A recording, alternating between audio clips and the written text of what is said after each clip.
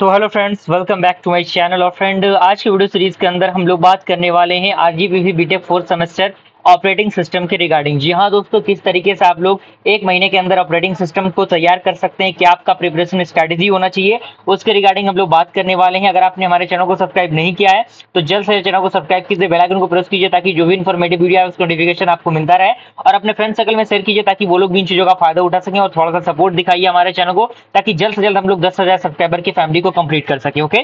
तो आइए स्टार्ट करते हैं। फ्रेंड्स सबसे पहले, सबसे हर एक वीडियो सीरीज़ के अंदर मैं बताता हूँ। कि अगर आप एक स्टूडेंट हैं तो स्टूडेंट लाइफ में एक टाइम टेबल का होना बेहद ज़रूरी है। टाइम टेबल इसलिए नहीं कि आपको 24 घंटे का एक टाइम टेबल बना लेना ऐसा नहीं करना है। आपके पास जो भी समय बच रहा है, उस समय के अकॉर्डिंग आपको क्या करना है, अपने एक टाइम टेबल को बना लेना है। और टाइम टेबल एक ऐसा रखिए जिसमें आपको समय जितना मिल रहा है उसके अकॉर्डिंग आप उसमें पढ़िए और डेली बेसिस पे पढ़ना स्टार्ट कीजिए क्योंकि कंसिस्टेंसी और डेडिकेशन हर एक स्टूडेंट लाइफ के लिए बेहद ज़रूरी है। या फिर कोई भी आप कम काम कर रहे हैं, अगर उसके अंदर आप कंसिस्टेंसी और डेडिकेशन नहीं दिखा रहे हैं तो कहीं ना कहीं वो आपके लिए फ़ायदेमंद नहीं होगा ओके तो कहीं ना कहीं कंसिस्टेंसी डेडिकेशन ही आपके एकमात्र कामयाबी का रास्ता क्लियर करता है और डेडिकेशन कंसिस्टेंसी बेहद ज़रूरी होती है। तो मैं रिकमेंड यही करूँगा कि सबसे पहले आप अपने पेन पेपर को उठाइए और एक टाइम टेबल को बनाइए जिसमें आप अपने सब्जेक्ट को कैटेगराइज कीजिए। और देखिए कि कौन सा सब्जेक्ट आपके लिए काफ़ी चैलेंजिंग है और उस सब्जेक्ट पे थोड़ा सा ज़्यादा समय दीजिए। और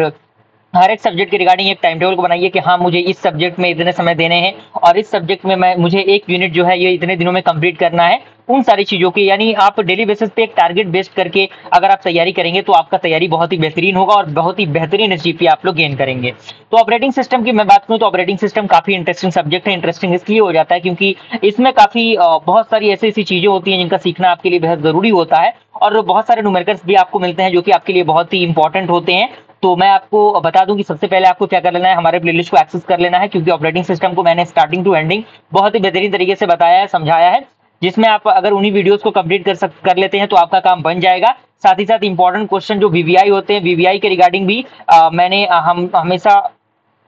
इंपॉर्टेंट क्वेश्चन का प्लेलिस्ट बना रखा है तो आप लोग उस प्लेलिस्ट को भी चेकआउट कीजिएगा। वैसे मैं सारे प्लेलिस्ट का लिंक आपको डिस्क्रिप्शन बॉक्स में दे दूँगा, जिससे कि आप इंपॉर्टेंट क्वेश्चन की वीडियो सीरीज़ को भी एक्सेस कर पाए ओके तो सारी चीज़ें हमारे चैनल पे ऑलरेडी बनी हुई हैं, और मैं साथ ही साथ एक बात ये भी कहना चाहता हूँ कि सारी चीज़ें फ्री ऑफ़ कॉस्ट तो है ही, साथ ही साथ अगर आपके पास समय कम है, आप वीडियोस को नहीं देख सकते या फिर लिख नहीं सकते चीज़ों को तो मैं आपको रिकमेंड यही करूँगा कि आप नोट्स को एक्सेस कर लीजिए, जिसमें आपको कंप्लीट नोट्स दिया जाएगा with important question and solution PDF handwritten notes मिलेगा आपको। बहुत ही बेहतरीन तरीके से उन सारी चीज़ों को तैयार की गई है। कहीं ना कहीं वो आपके सपोर्ट और प्यार की बदौलत ही इन तरीके की कंटेंट मैं आप तक प्रोवाइड कर रहा हूँ। अब आपको क्या करना है यूनिट वन से स्टार्ट करना है सबसे पहले आपको देख लेना है कि यूनिट वन आप कितने दिनों में कंप्लीट कर सकते हैं उसके बाद आपको यूनिट नंबर टू पे मूव करना है और ऐसा नहीं कि आपने यूनिट नंबर टू स्टार्ट कर दिया तो यूनिट नंबर वन आपको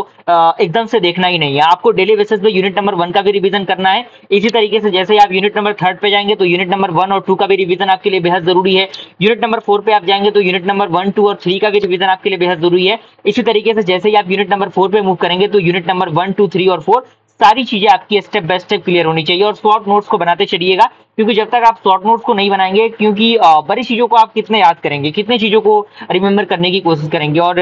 इंसान है, चीज़ों को भूल सकता है मेमोरी है चीज़ों को इतना याद नहीं रख सकता तो इस तरीके की चीज़ें हैं। तो आपको अप्लाई करना है और डेली बेसिस पे पढ़ना स्टार्ट कर दीजिए और एग्जामिनेशन से एक हफ़्ते पहले आपको क्या करना है, जो भी प्रीवियस ईयर के क्वेश्चंस होते हैं, उनको आपको प्रैक्टिस करके जाना है। इजिली आपका पेपर क्लियर हो जाएगा, कोई दिक्कत, परेशानी आपको नहीं होगी, बहुत ही बेहतरीन एसजीपीए से आप लोग चीज़ों को ग्रैप कर लेंगे। ओके तो आपको प्लेलिस्ट को एक्सेस कर लेना है इंपॉर्टेंट क्वेश्चन के प्लेलिस्ट को एक्सेस करना है और साथ ही साथ अगर आपको एक्सेस करना है नोट्स तो आप टेलीग्राम के माध्यम से डायरेक्टली मुझसे कांटेक्ट करके नोट्स वगैरह एक्सेस कर सकते हैं नोट्स का प्रोसीजर सारी चीज़ें आपको बता दी जाएँगी। और सारी चीज़ों के रिगार्डिंग वीडियो सीरीज़ बन रहे हैं अलग अलग सब्जेक्ट के रिगार्डिंग बन रहा है तो कहीं ना कहीं आपके सपोर्ट और प्यार की ज़रूरत है। और आपका ब्रांच सीएस है तो ये चैनल आपके लिए बेस्ट है, क्योंकि आने वाले सेमेस्टर के रिगार्डिंग बहुत ही बेहतरीन बेहतरीन कंटेंट हमारे चैनल पे अपलोड किया जा रहा है, जो कि आपके सेमेस्टर के लिए बहुत ही बेहतरीन है, बहुत ही लाजवाब है ओके तो इस तरीके की कंटेंट पाने के लिए हमारे चैनल को सब्सक्राइब कीजिए। तो मिलते हैं फ्रेंड्स ऐसे ही इंटरेस्टिंग वीडियो साथ, तब तक के लिए थैंक यू